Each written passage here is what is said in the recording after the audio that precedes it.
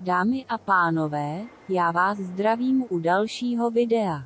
Vítejte ve hře Star Stable Online a dnes tady máme aktualizace. Chci se předem omluvit, že za mě mluví Google, ale stále nedokážu pořádně mluvit. Aniž bych nezačala kašlat. Dnešní video bude rychlé a spíše taková rekapitulace všeho, co teď bylo.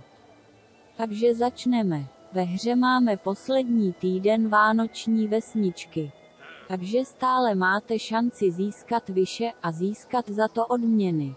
Skvělou zprávou je i to, že ode dneška si můžete změnit aurory s úkolem jak jen chcete. Stále také platí sleva na Aghal Teke a Marvary. Takže si ji nenechte uniknout. Máme tady i nové věci v bonusovém shopu pro lifetime hráče. Lidičky, takže tohle by bylo vše.